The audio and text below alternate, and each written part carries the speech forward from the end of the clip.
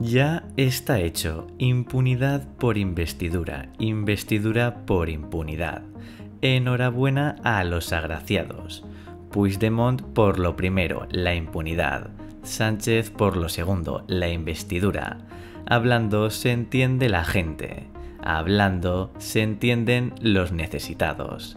Estas han sido las palabras de Carlos Alsina criticando el pacto entre el PSOE y Carles Puigdemont por la amnistía. Además, en este monólogo, Carlos Alsina ha querido resaltar que aquí el único ganador ha sido Puigdemont y los independentistas del Prusés, y el perdedor más grande, Pedro Sánchez. Y ahora os dejo con las palabras de Carlos Alsina y no olvidéis dar like, suscribirse y activar la campanita de notificaciones. Impunidad por investidura. Investidura por impunidad. Enhorabuena a los agraciados. El reconocimiento que tengo que hacer al esfuerzo titánico del Partido Socialista para convencer a España de que en esta negociación el que más ha cedido es Puigdemont. Es verdad que ha conseguido la impunidad para él, para los tsunamis, para los CDR, ha conseguido el relator internacional, ha conseguido el control parlamentario de causas judiciales, ha conseguido el compromiso de buscar la manera de hacer un referéndum, de crear un cupo fiscal catalán. Ah, y ha conseguido que el PSOE haga suyo el relato fake sobre lo que fue el, el Pero vamos, que ha salido escaldado Puigdemont de esta negociación, ¿eh?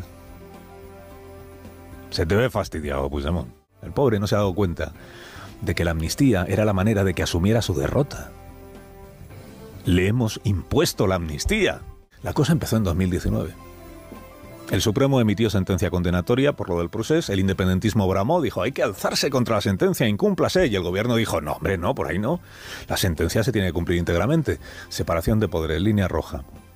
Luego ya negociando la investidura de 2020 aceptó llamarle conflicto a la cuestión catalana, crear una mesa de negociación extraparlamentaria con el gobierno de Cataluña, hacer suyo el verbo desjudicializar, el independentismo dijo, todos los condenados fuera de prisión. Y el PSOE dijo, no, hombre, no, por ahí no, que no son presos políticos. Y un año después los indultó, todo fuera, ya no hay lazos amarillos, Cataluña pacificada.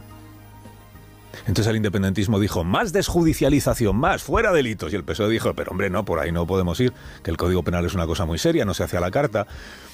Y entonces borró del Código Penal el delito de sedición, porque era el que más pesaba a los procesados de Esquerra. Y dijo el independentismo, es la malversación también. Y dijo el PSOE, hombre, no, por ahí no, como habla, eso es la corrupción. Y, procedió a abaratar los, las penas de corrupción.